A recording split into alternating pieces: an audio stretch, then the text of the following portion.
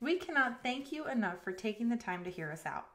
In the last videos, we discussed our estimating process and shared secrets contractors don't want you to know. Then we shared about how we order materials and shared expensive mistakes that customers make with material selection. We believe that if more customers knew this information, bathroom remodeling would be a breeze. But let's face it, bathroom remodeling is stressful and it affects the daily operations in the home. In this video, we will discuss how you can protect your property during installation. Whether you choose Condon contracting or not, be sure that your contractor takes measures to protect your property. Carpet protection or paper on hardwood floors are a must. The installer will be in and out of your home, and in each trip, something could fall and damage or stain the floor. A good contractor knows this and protects your home. Also, remodeling is ridiculously dusty. Your contractor should own a vacuum and know how to use it. We have a policy in our employee handbook regarding vacuums for this very reason. We also zip seal and use negative pressure to minimize dust traveling through the air.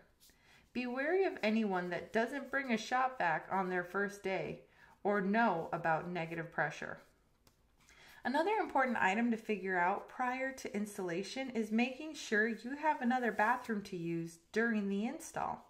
Most homes have more than one bathroom, but regardless, arrangements will have to be made. A good contractor will tell you what they need prior to installation. Most importantly, a good contractor will ask you the location of the water shutoff valve.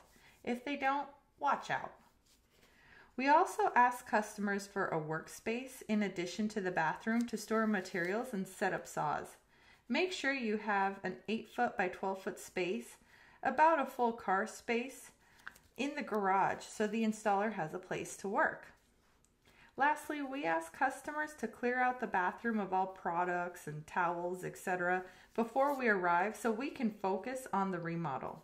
This includes taking down pictures on walls adjacent to the bathroom so that no items fall during construction. Just as a good contractor tells you what they need, don't be afraid to ask for what you need. If you have a napping child or a napping adult for that matter, don't be afraid to ask for quiet as remodeling can be very noisy. Finally, thank you so much. We value your time. Whether you decide to use Condon contracting or not, we hope that we have been of service. And please keep us in mind for your bathroom remodeling needs.